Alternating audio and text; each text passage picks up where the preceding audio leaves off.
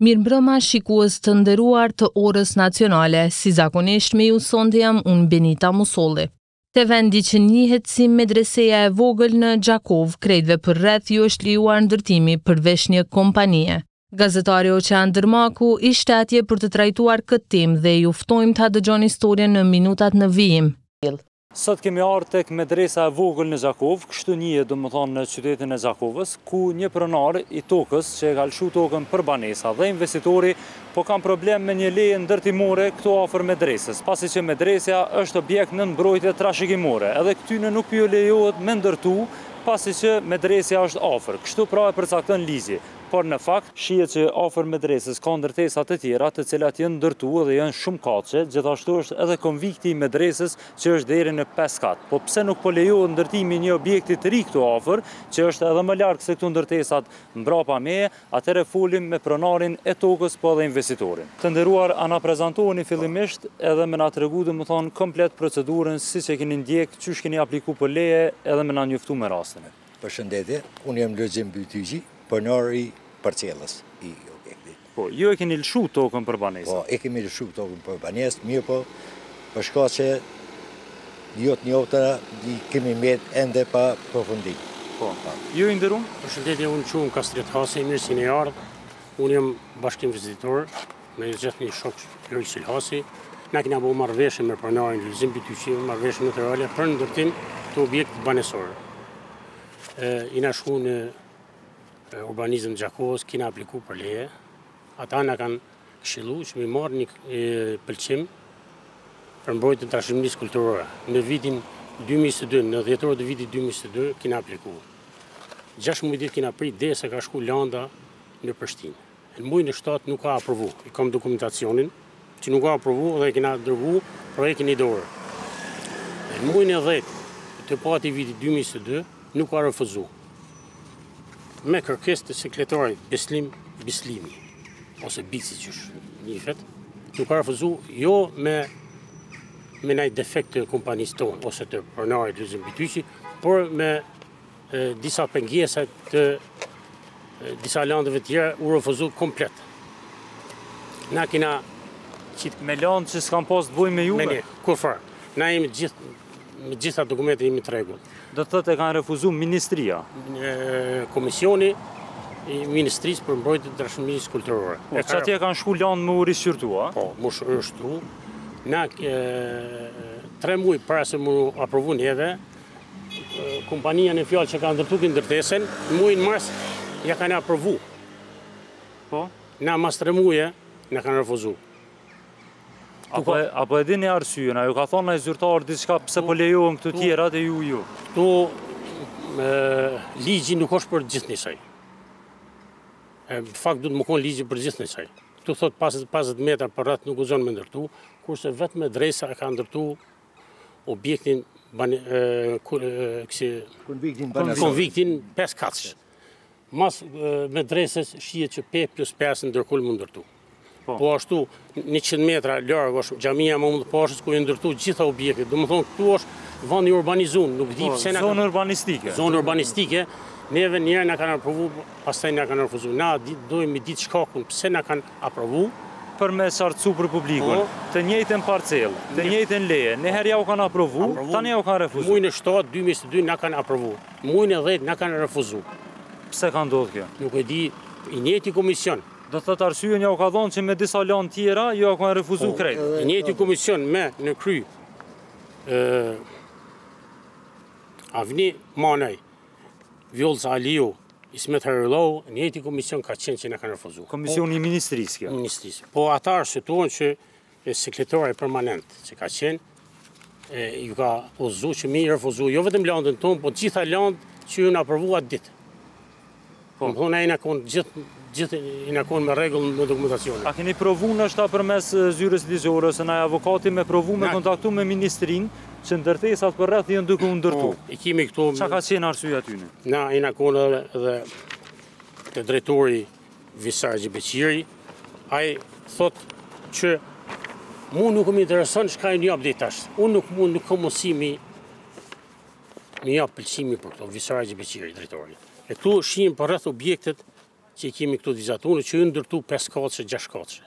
Vetëm neve nuk na lejohet që 3 vite na po e paguajmë qira. Po, që jeni bllokue domethanë totalisht? totalisht. Po. Po nuk e di çfarë arsyetimi, unë e du drejtën tonë. Para, para se me bo ju marrëveshjen mes veti, ju e keni ditë që lejet janë duke u dhanë, po, po. domethanë keni pas pëlqim, sepse nuk ishit hi me investu me një vend. Normal, nuk me pas ditë që është gjithë kjo telashe, gjithë kjo pengesë, gjithë kto shpenzime, neve na ka kushtu Dhe i thashë dikujt 30 mijë euro kemi shpenzime, se projektin e kina pagu... Vetëm shpenzime, që kanë me këtë zvarritje. Domethënë, na kina pagu projektin, studimin gjeomekanik, po. pëlqimin e zjarrfikësve, gjithë e kina pagu. Edhe në fund u blloku, domethënë, kur tjerët kanë vazhdu punën. Tjerët kanë vazhdu, qe këtu, vazhdojnë krejt, nuk janë 10 metra prej medrese, medrese, domethënë, këtu vazhdon ndërtimi, vetëm te na. Po, domethënë, Se ngjitur me medresën, faktikisht është duke u vrejt mbi pesë kate është njana, apo? Pesë plus pesë nënkulm, domethënë i bie gjashtë kate. Po, edhe medreseja e ka konviktin pesë kate. Pesë kate. Edhe pra, prapa medresës edhe një objekt tjetër i ndërtuar. I ndërtuar. Që, që, objekt banesor. Banesor, po, që po. nuk lejohet e ka ndërtuar atë. Po. Në njëjtën kohë me ne që vonë. Po, po, do të thotë juve ju ka refuzu, ai ka vazhdu punën? Ai ka vazhdu punën, njëjtën kohë. Na nuk e kuptojmë pse nuk ka aprovu. E kina pas planin ideor, e kanë pa. Nuk e kina ndryshu na planin ideor me planin zbatues. Po, ose pse e kanë aprovu një herë dhe e kanë kthy prapë në refuzim. Mujin e shtatë, domethënë, e kanë aprovu, mujin e dhetë e kanë refuzu. Na duhet me ditë arsyetimin edhe këto shpenzime kush na paguan po, që na paguan. Po, në muajin e 9 e kanë e kanë aprovu. Në muajin e 7, domethënë korrik, 2022-shit ah, e kanë aprovu, në tetor 2022-shit e kanë refuzuar. Po. Na kena qit 2-3 herë kërkesë na kanë refuzuar. Edhe njëjtë ka vazhdu ah, procedura, ju vazhdeni me pagu shpenzime... Qera, qera edhe shumë obligime që kurkush nuk e di qysh... Normalisht, se ju këni pas punë shumë arkitekte, gjithë po, çka përfshihen... Gjitha, krejt kina përgatit Domethënë me hi n' ndërtim. Nuk po. e kina prit na që na ndodh kjo, se nuk kishim hi. As nuk kishim bo marrëveshje me pronarët, as s'i kishim bo këto shpenzime. E nderume, a kini kuptu ju si procedurë, po menoj, a kini pas problem tani me për shembull investitorin, kur ju e kini lëshu për qat qëllim, për me marrë po. në kompenzim banesat. Po. Qysh u ka dok tani komplet qekjo zvarritja, a u kon Është zvarritja pak normal që u shku në dom timin, normal edhe në dom të tyne, edhe këta i mbroj, normal, mirëpo, jemi tu prit çdo moment, mos për... Mos për lëvizje, diçka prej komunës. Mos ka ndonjë lëvizje, po po shihet që dej më tani nuk ka asgjë. Normal edhe une pak e nij veten keq, nuk e nij komod n'banesë me qera. Normalisht. Edhe ky normal nuk e nin veten keq, kur Ma jep mu qeranë. Po, sepse lidhja e marrëveshjes parimisht ka qenë qëllimi i mirë. Qëllimi i mirë, mirëpo, ka ardhur deri te kjo dhe deri te kjo zvarritje edhe kemi ngel. Po, ndoshta më e dhimbshme është kur tjerët vazhdojnë se me u ndalu për krejt e kishe ditë se ligji është për për gjithë. Për gjithë. Ju e keni pas edhe shtëpinë këtu apo? Po, shtëpinë. Domethënë e keni rrënu shtëpinë edhe tash që tre vite jeni Po. I edhe rrinë në për, në për qira. Qira. Që tri vite është me qira. Investitori? Edhe nuk dihet kur keni me ia nisë. Po, Unë s'e kuptoj që... Nuk keni datë të caktume me i thonë... Po, unë e pres prej komisionit, se i njëti komision që ka aprovu, i njëti komision e ka refuzu. Pres një sqarim prej ish sekretarit përgjithshëm, Bislim Bislimi, Pse na ka refuzu neve kur tjerëve ju ka aprovu? Po, ose pse u aprovu një po. herë pastaj u po. refuzu? Po, nuk e kuptoj pse. Edhe që ata komisioni që kanë qenë, ata janë aty, hala në po atë komisioni, ata persona janë, edhe nuk na aprovojnë, kurse objektet përreth po ndërtohen. Vetëm këtu kam metë, nuk e kuptoj. Të nderum, na kemi me kërku përgjegjësi edhe prej Ministrisë, por edhe prej komunës, urbanizmit këtu në Gjakovë, për me pa se çka është duke ndodhë, edhe pse ligji nuk ka funksionu njëjtë për gjithë investitorët edhe gjitha palët në këtë rast. Shtesat që janë mrapa nesh, karshi medresës, karshi xhamisë Mahmut Pasha, kanë qenë deri në katin e dytë, por mrenda një kohë të shkurtë kanë vazhdu e u bo 5 kate nënkulm, domethënë 6 kate që u bo. Edhe këto prap me ligj, duhet m'u zbatu ligji si te na.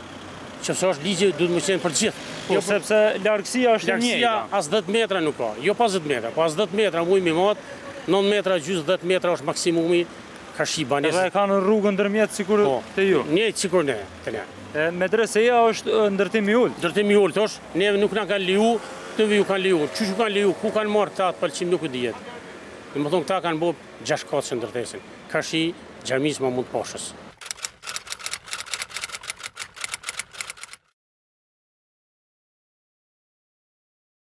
Gazetari Valon Syla nuk shkoi fare në Gjykatën e Apelit, ku avokatët e të akuzuarve po kërkojnë uljen e dënimit ndaj klientëve të tyre, që patën sulmuar brutalisht gazetarin. Se çka ndodhi në apel kësaj radhe, mund ta kuptoni në storien në vazhdim. Nëse po të kërset, se ajo runda e boksit është tre minuta se le më. Për stilet e hoxhallarëve qysh sillen si repera, të famshmit Lavdrim Muhaxheri.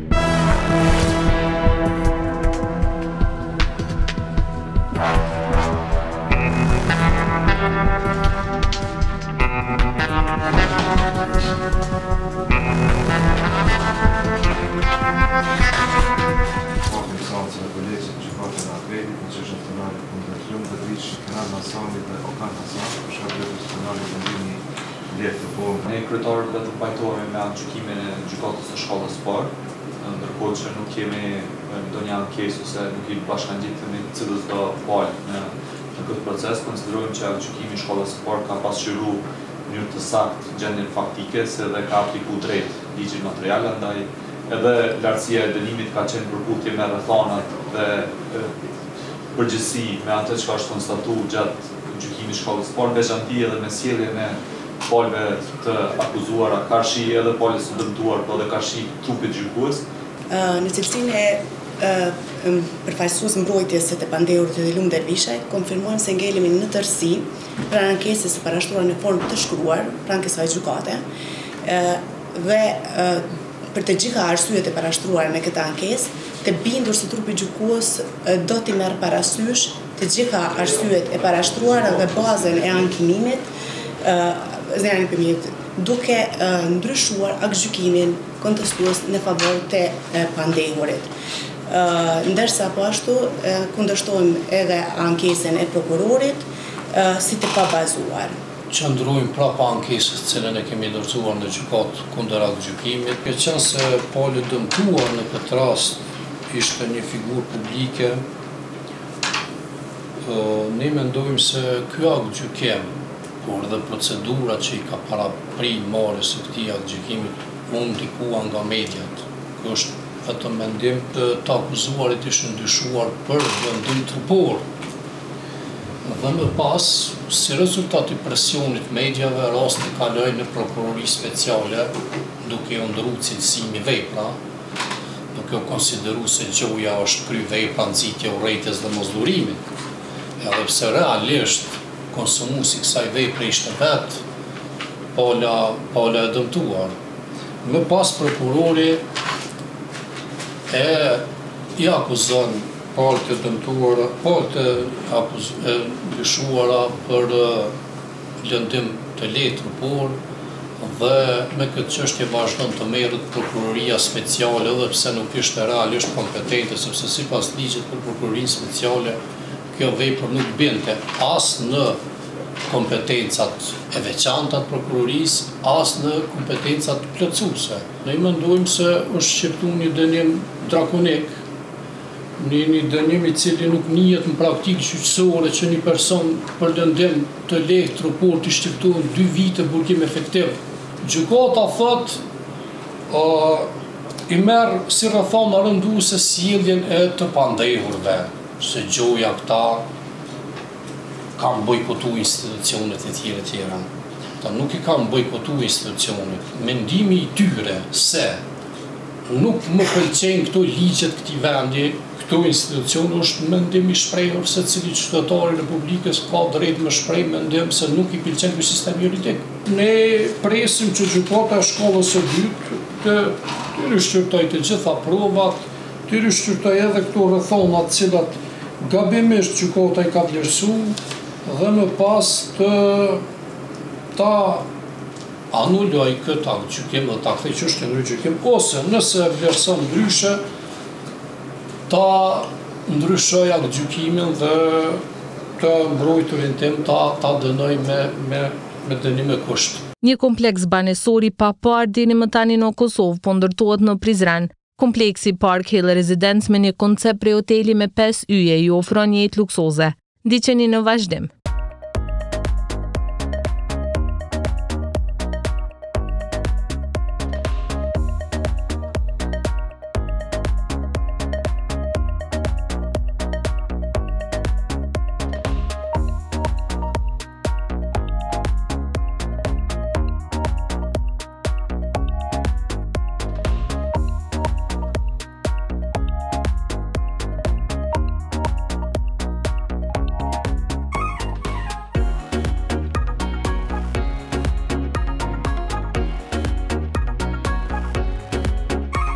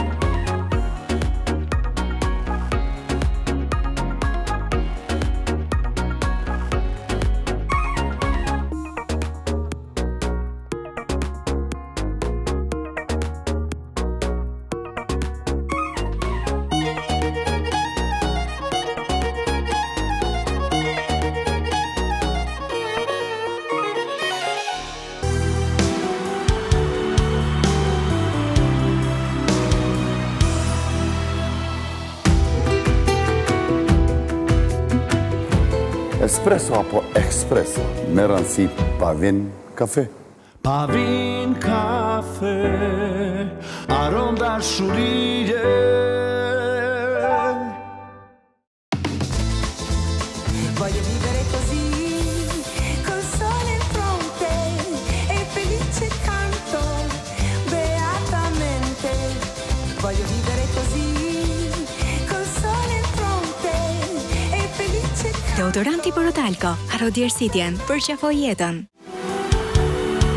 Krejt çka duhet në jetë është dashuria edhe një espresso e mirë. A thua edhe ekspresso?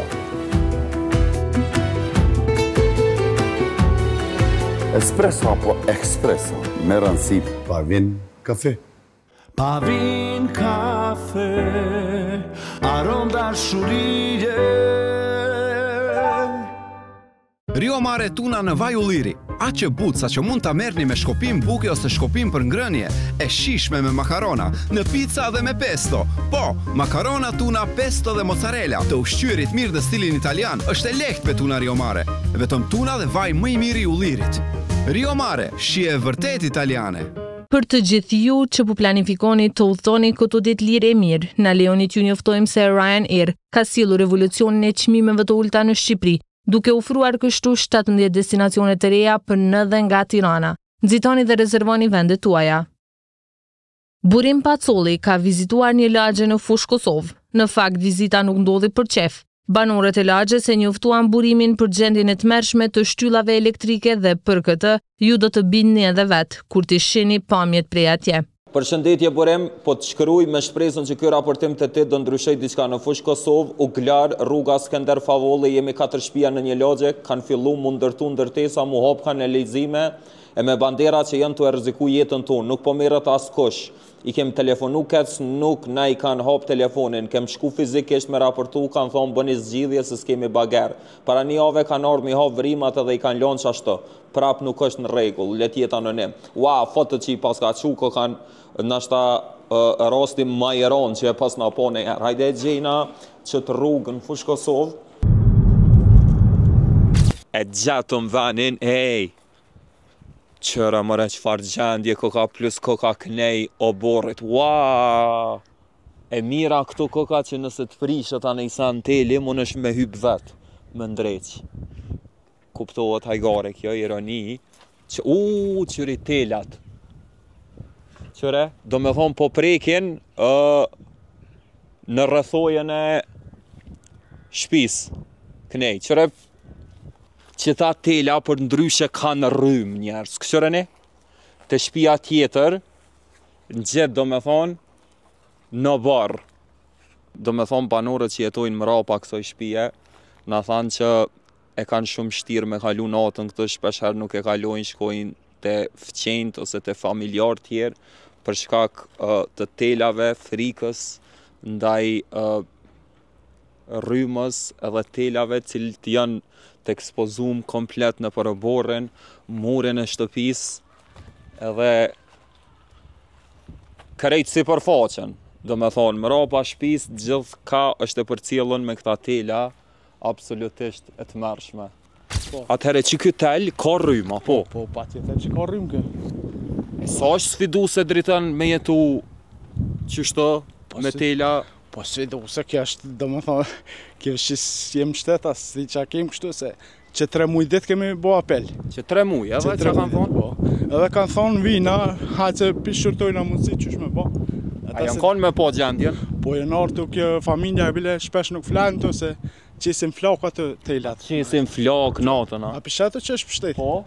Edhe kur të frynë shumë, ku me nditë atë qysh rroken telat, se s'jam në këtë... Po, në këtë lami, po e vëreni po, të po, qitë. Po, po, Gjigja e flakë. Po, po, fëmija, shpesh bile fëmija e vogël e kapën lujnë me këta, pëtën? A po, a? Po. Ua, a keni bo ankes? Po, kum bo ankes? Ke po ato, ke po ankes e në të... E, ki kërkesën, a? Po. Qëkjo është ankesa që e ke bo, a? Ankesa që kum bo, po që për ndrimin e shtyllës. Referencë. Po, edhe kemi... Përgjigja këthehet deri me... Nuk pe kuptoj qëky është nënshkrim, datë nuk është, sigurisht. Riparim shtyllë. Po, riparim shtyllë. Okej, edhe nuk kanë qenë, a? Jo, nuk kanë. Qenë kanë qenë kanë pa, qysh ta kom shkru ato, po. nuk kena bager për momentin. Ok, njerëz, na sa e nisëm e-mailin e parashtrum krejt ankesën me krejt detajet e numrin e shtëpis, lagjes, edhe ankesat, plus ja nisa edhe dy video, edhe këtë dokumentin e dokumentin ankesë që e ka bo pala para disa ditësh në KEDS, kështu që tash po presim përgjigje, E gazetarja Leonora Kolukaj ka biseduar me doktorin që pati një ndërhyrje të rrallë. Është fjala për ndërhyrje në rastin e gruas tridhjetë vjeçare të cilës i hyri gjilpëra në rrugët e frymëmarrjes. Sot në mëngjes e kom pa një postim të Shërbimit Spitalor Klinik dhe Universitar të Kosovës që ma mori krejt vëmendjen. Bile me ju kallxu drejt e lexova dy herë, edhe me kujdes, i pashë edhe fotografitë, ani pse ky rast kish pas ndodhë para pak ditësh. Një tridhjetë vjeçare aksidentalisht e ka aspiru një gjilpërë në hundë, e kjo e ka bërë që me u rreziku shëndeti i saj, duke shkaktu vështirësi në frymëmarrje. Nejse, mirë bile u kishin mobilizu ekipi kujdestar i Klinikës së Pulmologjisë edhe kanë arrit me ja largu gjilpërën prej hundës. E unë pata dëshirë me taku pulmologun Besim Morina, po ai momentalisht është në Vjenë në një kongres mjekësor, por ai ma mundësoi që me folë online. Doktor, përshëndetje! A mundesh me na kallëzu se qysh ka shku operimi edhe sa ka, sa ka zgjatë ndërhyrja? Atëherë, kjo është një rast që është paraqit në orë të vona edhe kur kujdestar kam qenë veç unë. E kam tregu edhe një herë ma herët që gjithë pulmologjia ka vetëm 4 bronkoskopist. Domethënë unë jam prej 4 bronkoskopist që di me kry këtë procedur. Ka qenë fati i pacientit që kam qenë unë kujdestar në njëfarë forme edhe kemi mujtë me kry aty për aty. Edhe, fillimisht ajo ka bo një incizim thellë, një CT ku është pa lokalizimi i saktë i trupit huj, edhe në këtë rast i gjil, një gjilpërë që ka qenë me kokë. Dhe? Edhe pastaj e kemi pa që trupi i huj ka qenë shumë thellë, i lokalizu në kështu që e vetmja mënyrë për me nxjerrë, atë është përmes futjes një aparati që ne e quajmë bronkoskop, që i përngjan gastroskopit që e bëjnë për lukth, po kjo është për rrugë të frymëmarrjes. Edhe është vendos, domethënë, bronkoskopi, ka hi, kemi hy drejt rrugëve të frymëmarrjes përmes gojës, edhe pastaj e kemi lokalizu ku është gjilpëra, dhe përmes disa danave të vogla që janë, milimetrike, e kemi kap gjilpërën përmes, përmes majës së saj që ka qenë pak sfidë, sepse gjilpëra është metal edhe rëshqet edhe janë danat shumë të vogla. Ka qenë sfiduese, jemi detyruar 2-3 herë ta përsërisim derisa e kemi nxjerr tamam atë mjetin, në këtë rast gjilpërën. Edhe procedura ka kalu shumë mirë, pa komplikacione se në këto raste, një prej komplikacioneve normalisht është gjakderdhja, mund dhe komplikacion tjetër është moslargimi i plotë, apo mund, futja dhe ma thell e gjilpërës, në rrugët më të imëta të frymëmarrjes, ku pastaj nxjerrja është gati e pamundshme. Sa ka zgjatë krejt kjo ndërhyrje që e keni bo? Kjo ka zgjatë rreth 20 minuta. Ë, po problemi ka qenë që nëse kjo nuk ish bë përmes bronkoskopit, atëherë do të ishim detyruar që e vetmja mënyrë për të nxjerrë gjilpanën është përmes operacionit, pra për m'u çel mushnia, me nxjerrë me operacion që është shumë invazive, intervenim që normalisht ka dhe risjet e veta dhe komplikimet e veta. A ka qenë ky rasti ma sfidus për juve? Në aspektin profesional? Ne, po, ne në, në pulmologji kemi kemi pas raste të tjera për rrugëve të frymarrjes, domethënë trupave të huaj në rrugët e frymarrjes, po gjilpërën ka qenë rasti i parë me me këtë lloj gjilpëre. Edhe normalisht që vështirësia ka qenë shumë e madhe, sepse para disa kohë kemi pas një trup të huaj në formë blombe, dhambit, pastaj kemi pas copë mishit, Kemi pas gjilpërat e stomatologëve që marrin për me pastru kanalin, pa po ato i kanë qenë pak ma të lehtë të menaxhushme, kurse kjo ka qenë ma sfiduse, sepse vështirësia e kapjes ka qenë ma e madhe. Pas intervenimit qysh ka qenë, ose sot qysh është gjendja e pacientes? Gjendja e pacientes ka, ka qenë shumë e mirë, domethanë është jetë totalisht në rregull, normale, e kemi liru pa pa ndonjë problem, ka shku në shpe, normalisht duhet të potencohet që ngarkesa psikike ka qenë shumë e madhe, domethanë ka qenë e agjitume, e friksume, në atë kuptimin që çka tu bo ndodh po me të, edhe ka qenë një çlirim i madh për pacientin edhe pacientja është lirë, shumë e lirë edhe, edhe në aspektin psikik, emocional. E, si përfundim, po mendoj, a mundesh me na kallzu në qesi raste, kur ndodhin, qysh duhet me reagu na Qysh me vepru? Në ato raste duhet gjithmonë të paraqitet te mjeku, edhe mjeku pastaj vendos a mjafton vetëm një radiografi apo duhet patjetër edhe incizimi i thellë, sepse na nevojitet me e ditë lokalizimin ku ku është domethënë trupi i huaj. A është në rrugë të frymëmarrjes dhe në cilin vend të rrugëve të frymëmarrjes. Edhe pas lokalizimit edhe pas identifikimit ku është trupi i huaj, Pastaj e bëjmë një bronkoskopi. Nëse është në rrugë të, domethënë, shumë të thella, edhe ku bronkoskopi nuk mundet me mbri, atëherë është ma sfiduese, ma problematike. Edhe në rrugë ma të mëdhaja të frymarrjes, ORL-ja mirret sepse e kanë bronkoskopin rigjid. Kurse në rrugë të thella, siç ka qenë rasti ky lloj i problemit, atëherë përdoret vetëm bronkoskopia fleksibile që e kemi na, se është ma e hollë edhe mundem me depërtu ma thellë. A mujtë me marrë vesh qysh i hini gjilpana në hunë, dok?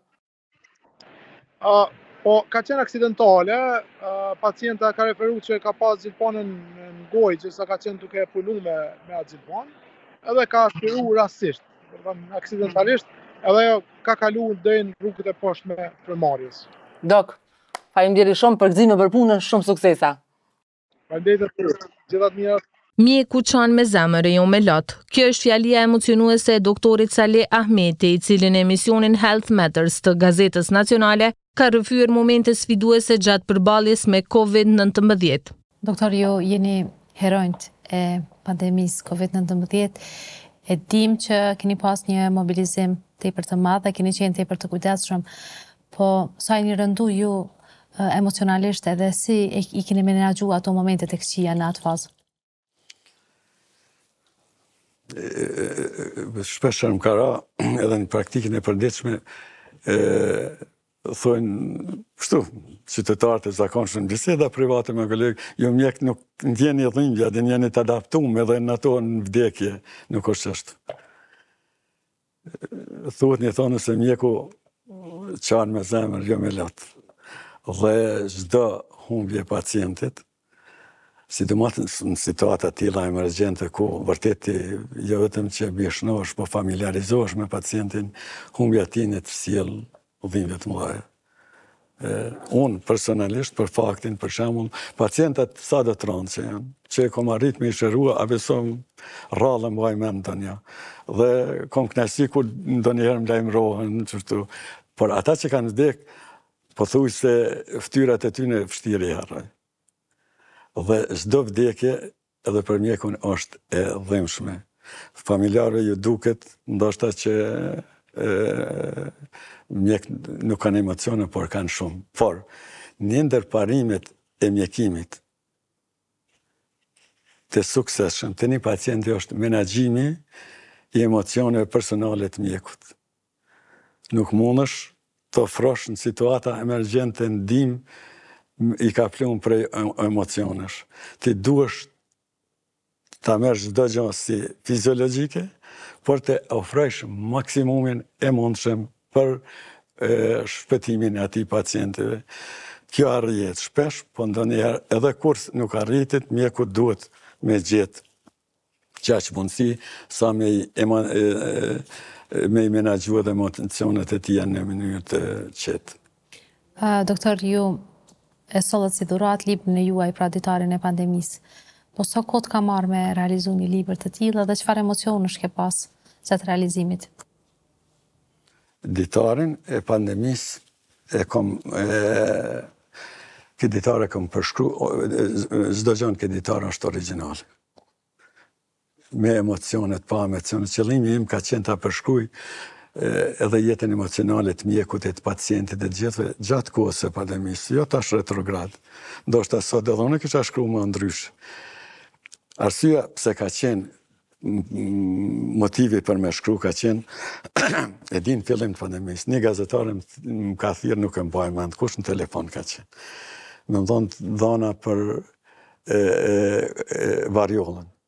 Po atëherë unë, 72-shën ka qenë variola, kom qenë nxonës i shkollës fillore.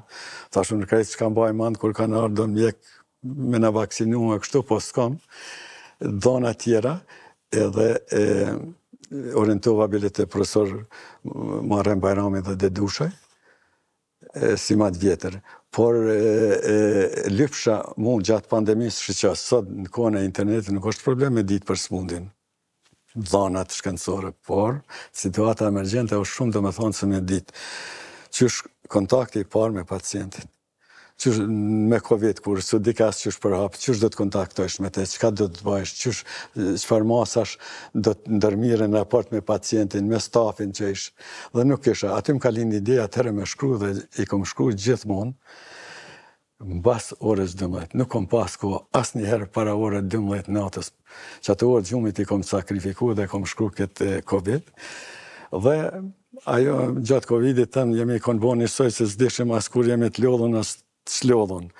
Por masnej e kom teknikisht përpunua pak dhe tu i shiqu edhe njëherë besa ajo më ka sjell shqyqimit meqenëse psikikisht e kom përjetu edhe njëherë kovidin dhe ajo më ka mundu kështu po mendoj që kom dashtë t'i lë disa të dhana që nëse ndonjëherë dikujt i duhen për situata emergjente dhe ba, si duhet të sillen në një ballafaqim me një agjent të randë biologjik, atëherë unë besoj se mund t'i shërben pjesa praktike. Masnej ka dhona mendoj mjaft edhe për krejt ato ndodhi që kanë ndodhur kështu rreth trajtimit e rreth ndodhive në botë tek ne kështu me radhë. Të nderuar shikues, këtu po e mbyllim Orën Nacionale për sonte. Për më shumë materiale si këto, intervistat e plota, videostorjet e shumta gjithandej Kosovës, mos harroni të na gjeni në kanalin e Nacionales në YouTube dhe për të gjitha videoraportimet tjera në faqen tonë Nacionale Videos në Facebook. si dhe në rrjetet e tjera sociale, përfshirë TikTok-ën. Ne ju falenderojmë për vëmendjen tuaj dhe dëgjohemi nesër mbrëma.